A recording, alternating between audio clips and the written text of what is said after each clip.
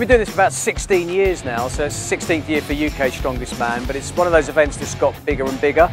Last year, nearly 10,000 people, so it's really grown as a brand. Strongman as well, just general family entertainment. It's an outdoor show, and because it's family, we like to have lots of stalls and activities. It's just a great event, so we actually build an arena. That seems to be the best way for us, and, and we sort of set everything up within an athletics track this year because of the British summer we've gone with a covered stand so that means that people have the option of you know spending a little bit more money on a seat but they can stay out of the sun or out of the rain and things like that make a big difference really it's just making sure people have a really comfortable experience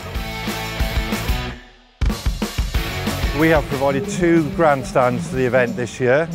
One is an uncovered grandstand, one is a covered grandstand. The VIP grandstand, this is one of our newer products. This has been developed to include a roof structure, to have a new peregrine roof, which actually fits onto the grandstand. So the first three rows on it have a special vinyl padded seat. So this has been developed to be used outdoors so if it does get wet, it's still usable, it just gets wiped down and dried and it can carry on to the next event. It enables the spectators to get a stadium feel for the event. In reality, it's two grandstands built in the middle of an athletic stadium. So it helps build the atmosphere, creates excitement for all the various spectators, and I'm sure the guys that are actually carrying out the event can feel the atmosphere coming from both sides of the stadium with the grandstand.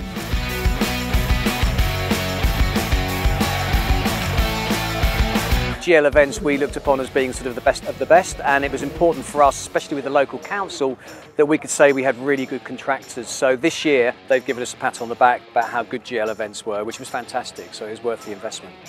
I've had a really good experience working with GL. I think from the get-go we made loads of changes to the configuration as promoters do and it was never a problem. It's been a first-class experience for us and I'd definitely recommend GL.